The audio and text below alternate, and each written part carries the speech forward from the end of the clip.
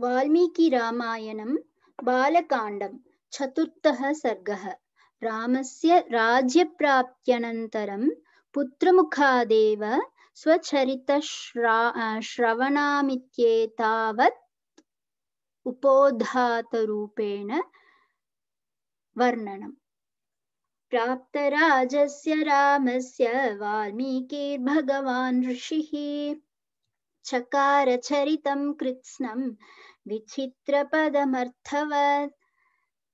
चतुर्विश चतुर्विशत्सहस्राणि श्लोकानामुक्तवान् ऋषिः श्लोकानामुक्तवान् ऋषिः। चतुर्विंशत्सहस्राणि श्लोकानामुक्तवान् ऋषिः, तथा सर्गशतान् पश्च पञ्च षट् काण्डानि तथोत्तरम्।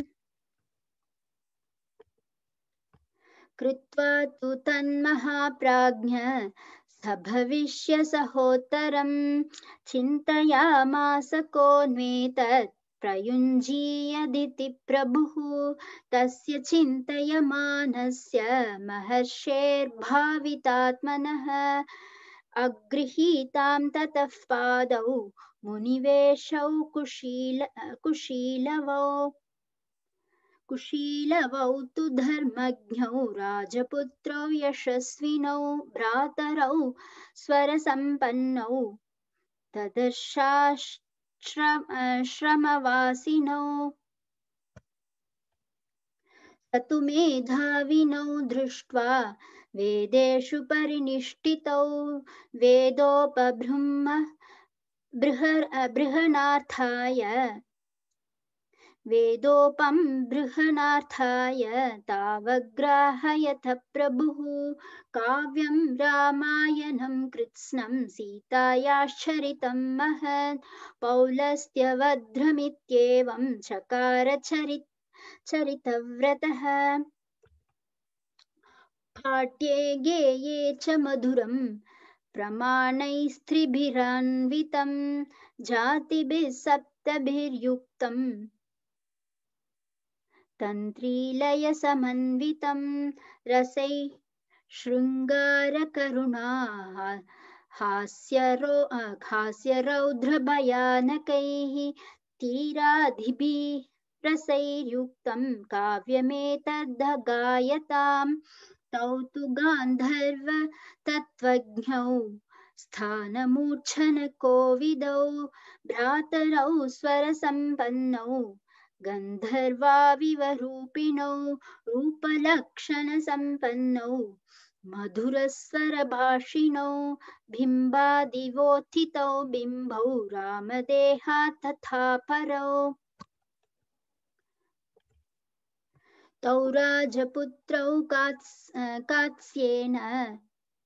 कात्स्ये तौ राजपुत्रौ कात्स्येन।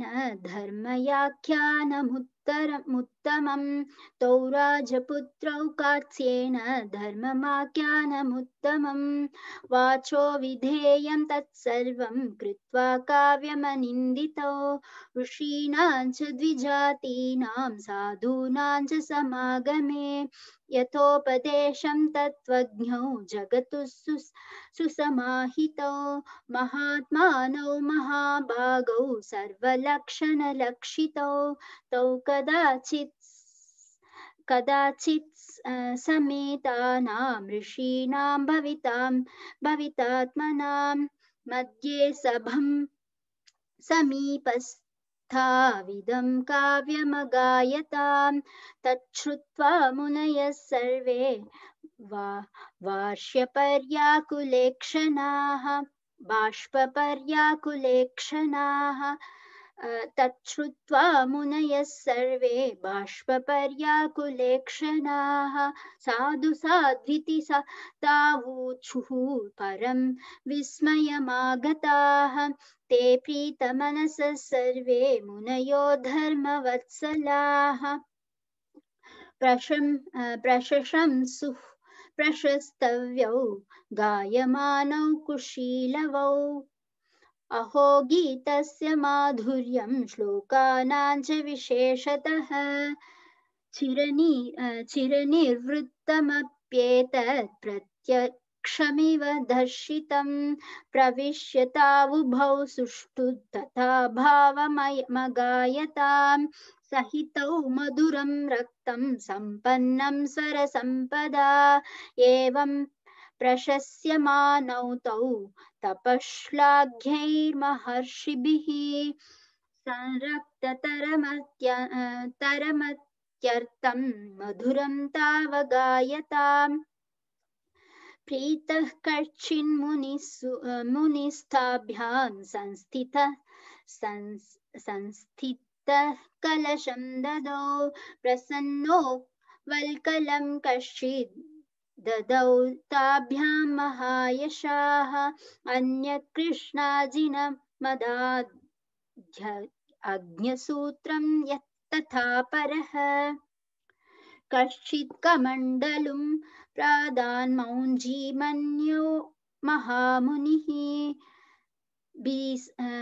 भृसीमन्यस्तदा प्रादात् कौपीनमपरो मुनिः ताभ्यां ददौ तदा हृष्ट कुटारमपरो मुनिः काषायमपरो वस्त्रम् चीरमन्यो ददौ मुनिः जटाबन्धनमन्यस्तु काष्ठरज्जुं मुदान्वितः यज्ञभाण्डमृषिः काश्चित् काण्डभार काण्ठभारं तथा परः। औदुम्बरीं वृसीमन् वृसीमन्य स्वस्ति केचित्तदा वदन् आयुष्यमपरे प्राहुष्मुदा तत्र महर्षयः। तदुश्चैवं वरान् वरान् सर्वे। मुनयः सत्यवादिनः। आश्चर्यमिदमाख्यानं मुनिना सम्प्रकीर्तितं। परं कवीनामाधारं समाप्तं च यथाक्रमम्। अभिगीतमिदं गीतं सर्वगीतिषु।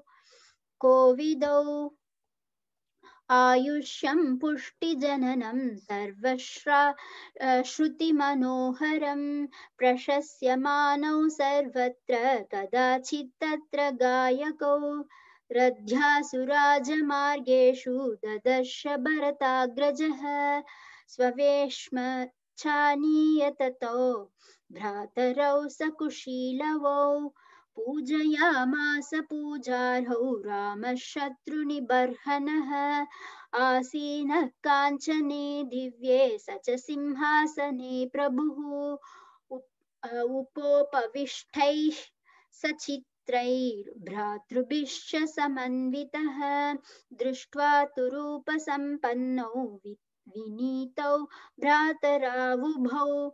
उवाच लक्ष्मणं राम शत्रुघ्नं भरतं तथा श्रूयतामेतदाख्यानम्।